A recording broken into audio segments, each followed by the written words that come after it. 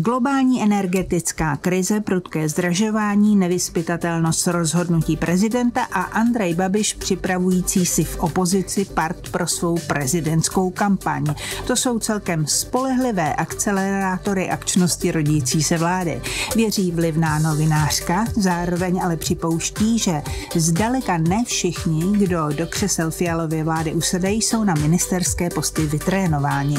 Analytička Echa 24 a týdeníku Echo, Lenka Zlámalová, mým dnešním hostem. Vítejte, Lenko. Děkuji, Báro, za pozvání. Děkuji. Přeji dobrý den divákům. A dobrý Eh, posluchačům. Pardon. v pořádku. Od mikrofonu zdraví taky Barbara Takecí. Osobnost plus.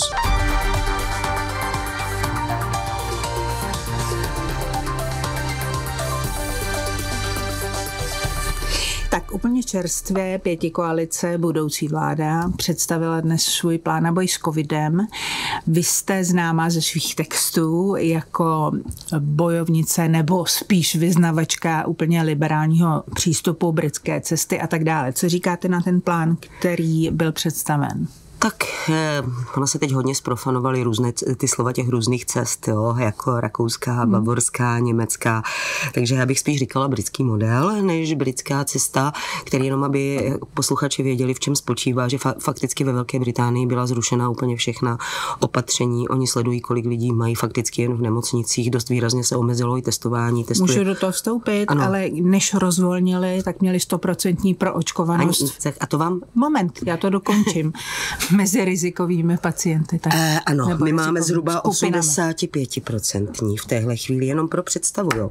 A vy, vy zmiňujete hrozně důležitou věc, a to je pro očkovanost rizikových skupin. Ano. Ona se totiž často uvádí pro očkovanost jako procento v celé populaci. Tak jenom, aby měli posluchači představu. Velká Británie má v celé populaci pro očkováno 67,56%. Včerejší data z Our World in Data, nejlepší prostě oxfordský ano. monitor. Německo, které momentálně přistupuje k docela výrazným restrikcím, má pro očkováno 67,43. V zásadě slyšíte úplně identická čísla z obou dvou těch zemí. Česká republika v té má celkově pro očkováno 59, eh, asi 40. Takže je tam skutečně o 8 Mohu pro... něko, takhle. Já ještě řeknu jeden zásadní argument. Nejde jen o proočkovanost těch rizikových, jde o proočkovanost těch rizikových třetí dávkou. Velká Británie je evropský šampion v tom, že má 20%, což se zhruba uvádí, že je právě ta riziková populace naočkováno Jasně, třetí dávkou. ale- Tím je hotovo. Ne, já k tomu dodám jenom uh, maličkost. A to, že Británie dlouho neočkovala a neočkuje děti. Takže u nich ta proočkovanost na celkový ano. počet obyvatel, to fakticky v reálu vypovídá o něčem jiným. A druhá věc je, že skutečně oni hlídali, než cokoliv rozvolní, ty své rizikové skupiny. Přesně. A to je ale to, co my tady neděláme. A to je Takže- největší omyl, který se jede od začátku té pandemie. My nerozlišujeme, máme nějaký blok rozlišit tu společnost na rizikovou a bezrizikovou. Tady je skutečně jako zřejmé, kdo jsou ti rizikoví lidé. Jako dá se to, zdravotní pojišťovny by to jedním klikem byly dneska schopny udělat. A Británie se o ty lidi stará. Stará se o ně tak, že je k tomu očkování motivuje, skoro až nutí. Opravdu jako je o ně pečuje. Rozjela rychle ty třetí dávky, samozřejmě oni je mají ta, naočkované. Čili ty lidi logicky pak nekončí v nemocnicích, protože se ukazuje, že u těchto Jasně. lidí ty druhé dávky prostě Ne, nestačí. jasně, ale- ale my se díváme na společnost a naopak, vy jste zmínila děti. Jo. U dětí Velká Británie dlouho byla vůbec proti očkování dětí. Do těch 16 let dítě z pohledu té vakcíny bylo považováno, původně ona byla schválená, nebo oni byly schváleny od 16 let výš, nikoliv od 18, což je u nás i ve Velké Británii plnoletost. Ale oni nedoporučovali skutečně očkování mladších 16 let. Teď před časem Public Health England eh, změnil to doporučení, říká u dětí od 12 do 15 let očkujme jednou dávkou jenom. Pokud někdo se chce očkovat, tak pouze jednou dávkou. A eh, jenom u těch rizikových dětí, protože jsou i rizikové děti. Nemá to cenu zastírat, jsou děti s imunosupresemi, Ale- onkologickí pacienti a tam očkujme dvěma dávkama. Jasně, ale jenom jestli mohu, totiž to, eh, ten, to jádro toho problému je, že zatímco jsme se dohodli na tom, že rizikoví byli v Británii ve 100% pro hmm. očkování mm. a teď je skoro 100% hmm. třetí dávkou, tak pak jim fandíme v rozvolnění. Ale tady mm. není ve 100% ani dvoudávková eh, ano, je tam, je tam pě- eh. Čili to je jenom, abych, eh, ano. ta ilustrace toho, že nejsme ve srovnatelném prostředí. Víte co, ono, ono je totiž, my se zaměřujeme tady úplně jako nesmyslně. Očkování dětí, jo, jako ty děti se nechá... Ne, ale vy mě utíkáte z toho, ne, ne, že je, máme jiné Ano, máme jiná měřítka, proto říkám, dožeňme co nejrychleji tu Británii. Doočkujme ty rizikové lidi. Za prvé, řekněme těm lidem, kdo je ten rizikový. My jsme neudělali to ani, že jsme jim to řekli.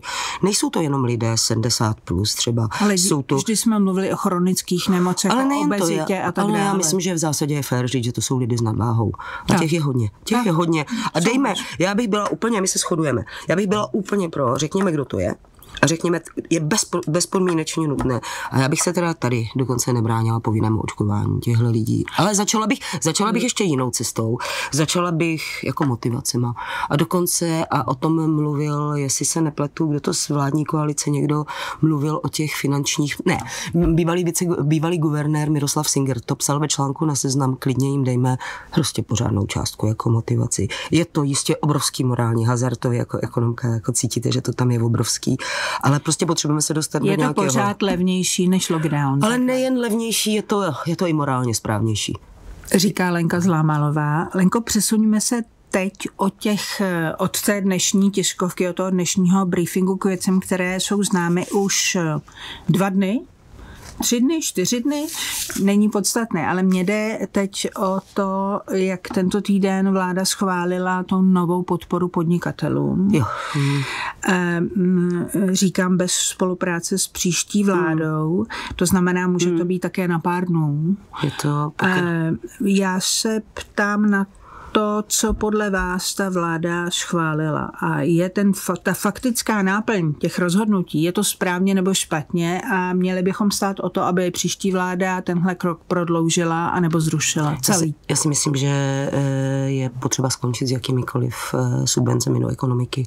Pokud jde o COVID, nemáme žádná odvětví, která jsou zcela razantně dotčena tím, že ten biznis by byl zavřený. A eh, ten program antivirus, který už tady běžel vlastně i ve chvíli, kdy jsme neměli vlastně vůbec žádné restrikce podnikání, tak napáchal takové škody a zvrzl se v to, že najednou jsme byli ve stavu, kdy Škoda Auto která neměla hmm. čipy, mohla žádat Škoda Auto se svými zisky, který má takový, jaký má s průměrným platem, jestli se nepletu někde nad 60 tisíci už jako, tak mohla žádat do program Dobře, antivirus. Ale abychom eh, já jsem proti, jaký, já jsem proti jakýmkoliv... Já vím, že jo, z podstaty věci, ne, ano. Ne, teď v téhle chvíli jako nejsou potřeba. Čím víc tam ten peněz budete nalívat, tak si zároveň prostě otvíráte eh, cestu k těm snadným řešením, což je prostě něco zavírat. A to řešení není. Ten virus tady prostě už teď bude pořád. Dobře, ale co byste si počala třeba um, prostě v době lockdownu s restauracemi, pohostinství? Bavíme se teď. Teď. Tak já, teď. já jsem naopak byla, já jsem byla zastánce mnohem rychlejších eh, kompenzací, které byly.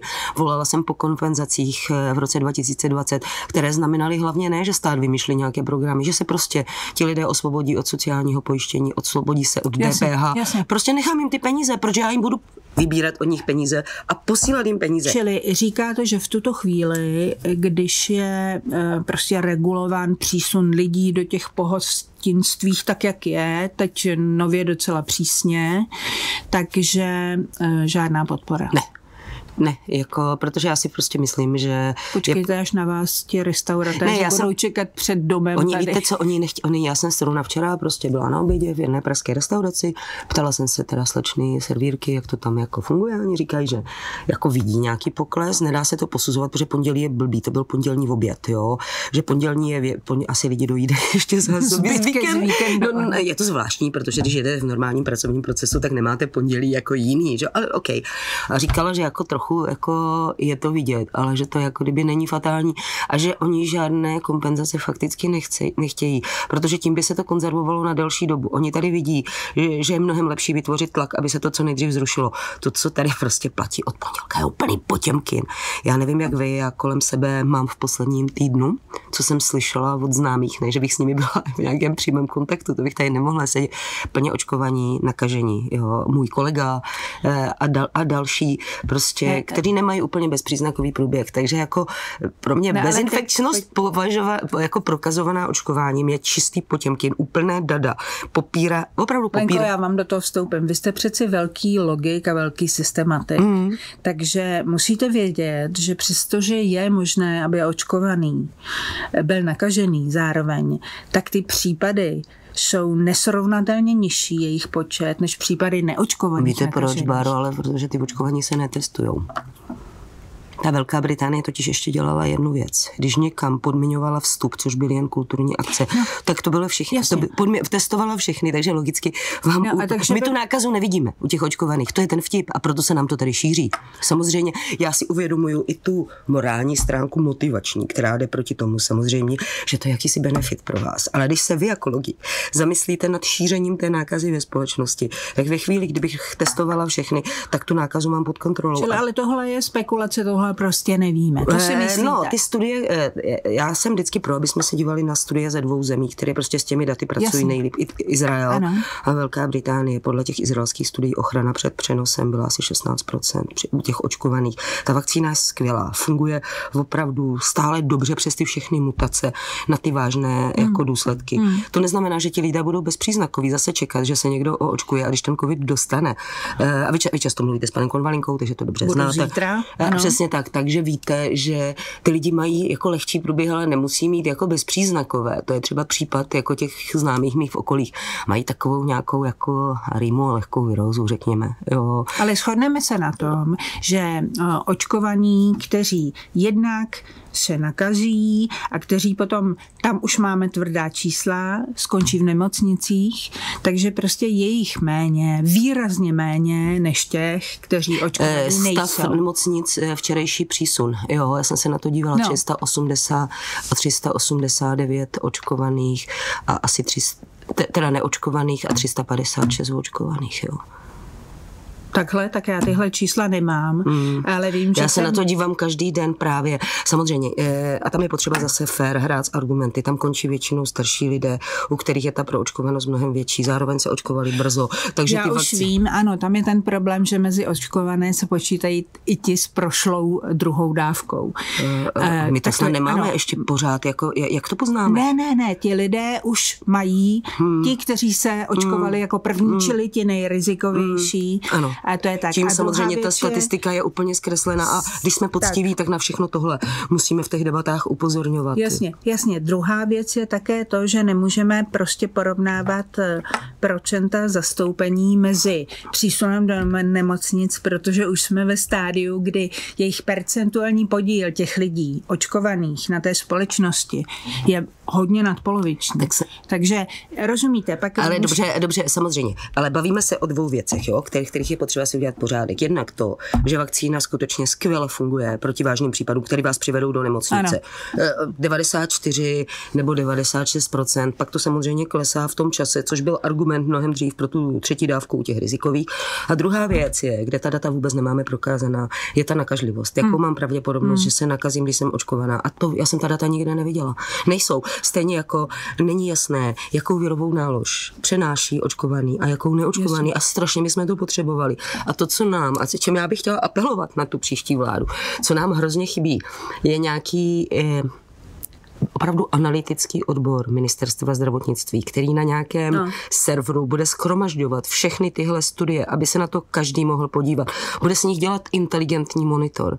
Zároveň bude no, dělat... Když si vzpomeneme, eh, jaké dělali obstrukce kolem pouhých obyčejných dat ÚZISu. Přesně tak. tak. To se teda trochu zlepšilo zase, aby jsme panu ano. Duškovi tady ne, ne, ano, nedávali. určitě ano, ale jak dlouho to trvalo. No, přesně, přesně. tak. Ale já bych fakt, jako, když se teda bavíme a ptáte se mě, co abych považovala za správné, tohle je úplně první věc, kterou bych jako zdůrazňovala. Fakt dát těm lidem data. jasné informace, Určitě. data. A pak další věc. Já si myslím, že je strašně, že lidé vlastně, a včera jsem opět toho byla svědkem, u jedné své jako nakažené známé, ze kterých jsem si psala, ti lidé nevědí, co mají dělat, jako když zmíníte, že i ten člověk, který mu moc nic není a má tu rýmu, třeba by si tím kolíčkem, tím pulzním oximetrem mohli třeba změřit tu kyslíkovou saturaci, aby věděl, jestli ho nějaký problém čeká nebo ne, tak na mě vzdělaná osoba jako uh, ředitelka uh, ve firmě firmě, jo, nebo v, jako v nějaké... Ale a otestuje se aspoň? Jo, jo, jako jde, jako jde na test, protože její muž to má, že jo, tak. samozřejmě, ale, ale to, že jdete na test, vám vlastně nic osobně v té péči o vás nepřináší. Jasně. Jo, a jako ale začít se sledovat, protože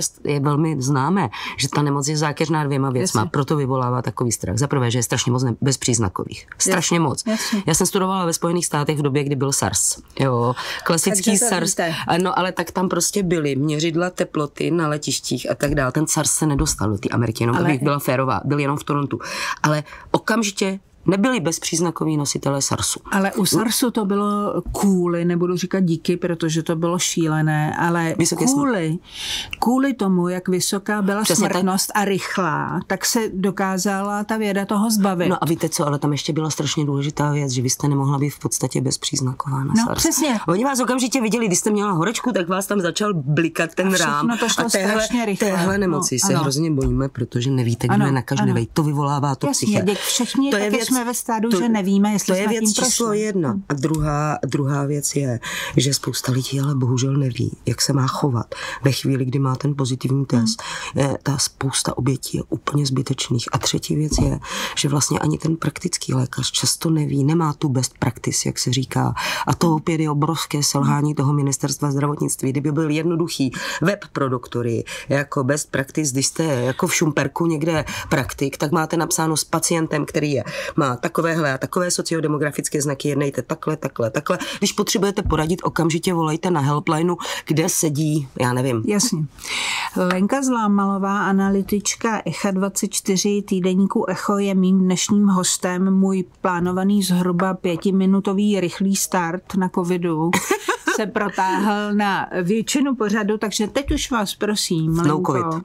No covid, ale hlavně stručně. Určitě. Eh, vy jste přela o velkých výzvách nové mm. vlády a mě zaujala eh, mimo jiné vaše věta, nutná je rychlá konzolidace úřadů rozvrácených předchozím kabinetem Andreje Babiše a sociální demokracie. Takže jenom si řekněme, jaké úřady považujete v té zemi za rozvrácené? Ministerstvo zdravotnictví. Já teda tak si zahrajme takovou hru, že bychom byli na, na místě té vládní koalice, jo. co považuji za extrémně rozvrácené. Ministerstvo zdravotnictví. Jako tam panu Válkovi teda přeji hodně štěstí a jako boží podporu k tomu. Pak eh, samozřejmě státní finance. Jo. To teda eh, pan Staňura taky jako kdyby má co dělat, když budu pokračovat, protože možná jsou některý rozvrácenější, ale není potřeba tak rychle, tak rychle reagovat Jasně, na není ty. To tolik teď... Není to akutní. Ehm, mám velkou pochybnost o stavu na ministerstvu práce, kterou se, která se stala jakousi personální agenturou sociální demokracie. To ministerstvo vlastně nabide teďka na významu a to se dostáváme k druhé krizi, k energetické krizi. Víc než kdykoliv předtím bude muset řešit kompenzace pro lidi, kteří opravdu budou padat do energetické chudoby. A nemyslím si, že při tom rozvratu, který tam je, tak kdybych měla zmínit jenom tři, zdravotnictví, práce, sociální jenom, věci, jasně, finance. Stačí, ale teď mi jenom řekněte, ten rozvrat spočívá v tom, že jsou tam neschopní lidé, že jich tam moc, že eh, celý ten úřad není schopen prostě eh, dospívat k rychlým a analyticky zdůvodněným rozhodnutím, nebo v čem je jejich problém? Tak, ministerstva zdravotnictví bez diskuze to je dysfunkční úřad, který není schopný dělat přesně tu analytiku, o které jsme se bavili. Ano. Dost covid.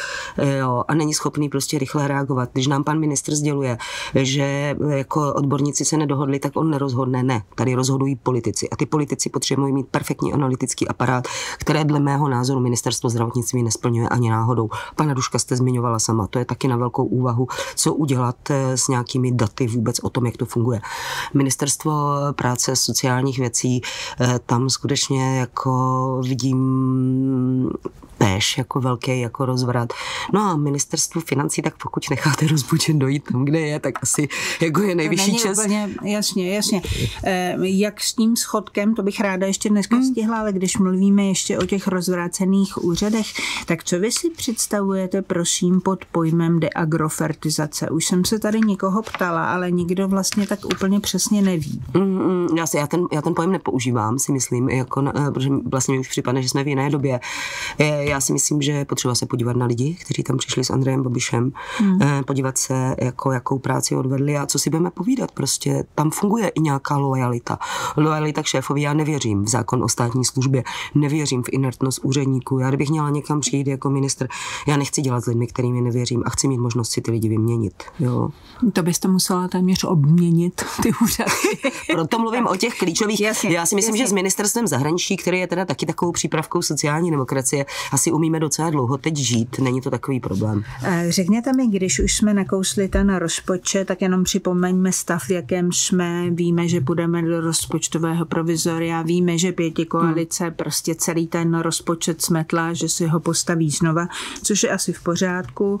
Žádný plánovaný schodek 380 eh, miliard eh, nechtějí dělat samozřejmě. Chtějí pod 300. Chtějí teda, pod, měři. tak ano, chtějí pod 300. A teď se vás ptám, na čem kde to chtějí vzít z té, z té uh, nějaké rozhodující částky. Když chtějí plánovaný rozpočet, což je chválihodné, eh, snížit o 80 miliard ten schodek, myslím, tak kde, kde to vemou? No, ta kapitola je jednoduchá. No? Všechny nenárokové dotace, které nejsou úplně svázané s evropskými penězi. Já si myslím, že ta částka by tam mohla být ještě větší. A když jsem se na to dívala, tak jde zhruba o 105 miliard, který by tam šlo okamžitě jako sejmout. Oni z toho chtějí a brát. příklad těchto dotací jenom, co to eh, je? No tak toustovací, toustovací chleba v Agrofertu, Ale když už jste u toho. Je, Jsou to všechny ten dotace Evropské unie, ale ne? Ne, ne, ne, ne, ne, tam velká část je jako financovaná, jo. A vy, vy na tohle ty peníze rozumím, vlastně rozumím. vůbec dávat nemusíte.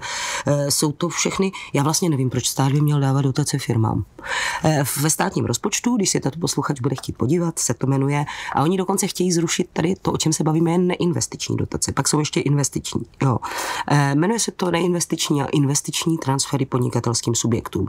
Jsou to pruce rostoucí kategorie a když to zítra škrtnu, tak se nestane vůbec nic. Druhá věc, vláda nechce zvyšovat platy tak, jak si to narysoval kabinet Andreje Babiše, protože ve chvíli my jsme ve velmi ekonomicky nezdravém bodě, kdy státní zpráva nebo veřejný sektor platí víc než soukromé firmy. Soukromé firmy mají extrémní no, momentálně problémy se zaměstnanci, fakt nejsou lidi. A toto je věc, která vytváří obrovskou nerovnováhu v ekonomice. Čili nová vláda přidá učitelům a tím to skončí. Jenom mi řekněte, Lenko, ještě k těm dotacím. E- to chce obrovskou politickou odvahu udělat nějaký zásadní řez eh, v těch dotacích. To si nemyslím. Víte Nemyslíte? proč? No, tak protože když se podíváte, kolik lidí dotace bere a nebere, to je takový mýtus trochu mediální. Kolik, jako samozřejmě na vás se postí různý zájmové skupiny, ale tak jako doprčit politika je o odvaze. A já si myslím, že hm, tady většina, kdybyste si udělala průzkum, eh, tak většina bude pro to okamžité zrušení Jasně, dotací. Ale teď, když mluví, teď, když mluví tato budoucí nebo už eh, současná pětikoalice o dotacích, tak řeknou, že chtějí zastropovat dotace pro velké agropodniky, což je fajn. A e, e, to samo o sobě ještě, ještě je málo. Tak já se ptám jenom, vy si myslíte, že Fialová vláda e, bude mít politickou odvahu, která není potřeba, jak říkáte, na to, aby škrtnul prostě celé nenárokové dotace? Já vám to říkal, eh, říkají to o sobě, jak říkal vždycky Roger Scruton o Němcích, když mluvil, říkají to o sobě. A já jsem člověk, který, než se sklame, chce věřit. Takže je... Co vám na to mám říct? Jasně. Chtěla bych si to, přála bych si to. E, jako já jsem málo z těch lidí, proto jsem to napsala do toho textu, co jste citovala. Já jsem málo těch lidí viděla v exekutivních funkcích, jo. Ale tak třeba, když teda zrovna sleduju e, pana Michalíka ze Stanu, který má teda jako minulost investičního bankéře, má jakýsi drive, tak na, na, reagoval na konferenci Forbesu tím, že tam zase přišli s nějakými výzvami, na co všechno jiného mají dotazy v rámci moderního Česká. On tam těm podnikatelům říká, no přátelé, nebudou žádné dotace. jako tak, když jsou tam, jako když tam budou tyhle Michalíci, já budu v pohodě. Ale pan Michalík, když už jste měla pana ano, Michalíka, ano, ano. tak eh, to, co se řešilo v médiích uplynulý týden, bylo, že eh, jeho firmy, respektive eh, firmy jeho rodiny, takže pobrali 100 milionů korun jako výhodné půjčky od kyperské společnosti Lowfield Investments, to bylo to hlavní a dlouho neříkal, co to je za firmu, když se novináři ptali. Teď už vyšel s tím, že to je taky firma vlastněná jeho ženou. A tak teď mi jenom řekněte, firma vlastněná jeho ženou půjčuje 100 milionů korun jeho, jeho vlastním firmám. Jako je to normální. Já neříkám, že je to protiprávní. Já se ptám. Já, vám, já rozumím vaší otázce. Eh, je potřeba na začátku říct, že pan Michalik eh, deklaruje před vstupem do vlády legální majetek za asi skoro půl miliardy korun. To je opravdu jeden z nejbohatších lidí, co vstupuje do té vlády. Eh, deklaruje, že zároveň vydělal na solárních elektrárnách, kdy to bylo opravdu jako kdyby zcela legální. A já jsem do těch účtů neviděla. No, jo. Já a, jo, a jako, aby jsme se o tom mohli poučeně bavit, jako, tak, tak bych Ale jako, může to, může to být, já si myslím, že by měl dost těch věcí vybalit, jo. Já jsem dělala Babišovi dluhopisy tehdy jako novinářka a vím, že to musíte najít v tom detailu potom. Takový ten jasně, mediální soud, jasně. smrdí to, nesmrdí tak to, já to neumím. On to sleduje, jasně, a on um, to zamýšlí. On je on takový, říkal, on působí že... otevřeně, zatím působí jako v zásadě otevřeně. Počkáme si na čtvrtek, na zítřek, kdy to má vybalit. Ale Přesně, on, pak si to čekneme a můžeme si říct, Michalik má nebo nemá Jenom mi řekněte to, že vlastní v tuhle chvíli stále solární elektrárny bytě vlastní prostě prostřednictvím nějakého fondu, kam, kam předve, a zároveň by měl být regulátorem vlastně solárního biznesu, tak to značí, že by se toho měl zbavit urychleně těch solárních elektráren. Tak, dvě věci. Za prvé nepovažuji za problém, že by že vlastní, za druhé eh, bylo by asi lepší, kdyby to minimálně převedl na tu manželku asi jako čistší, nebo jako bylo by dobré, aby si to ošetřil nějakým způsobem. Tak jsme to stihli.